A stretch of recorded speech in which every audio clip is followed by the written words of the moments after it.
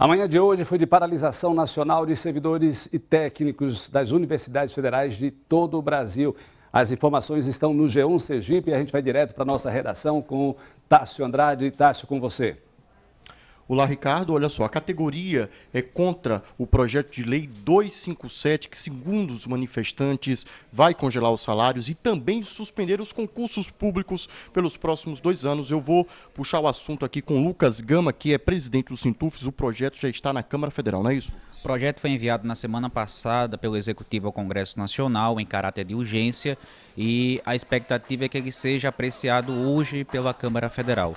Por isso que nós decidimos fazer uma paralisação nacional que contou com a participação de trabalhadores de mais de 50 universidades federais para que nós possamos pressionar e barrar a aprovação desse projeto tão prejudicial aos trabalhadores e ao serviço público. Mais de 1.500 funcionários? mais de 1.500 trabalhadores técnicos administrativos, cerca de 80% dos trabalhadores aderiram ao movimento e a nossa luta é para evitar que os concursos públicos eles sejam suspensos e evitar também que haja uma precarização nas relações de trabalho. A matéria completa a gente tem no G1 e também no SETV, segunda edição. Ricardo, com você.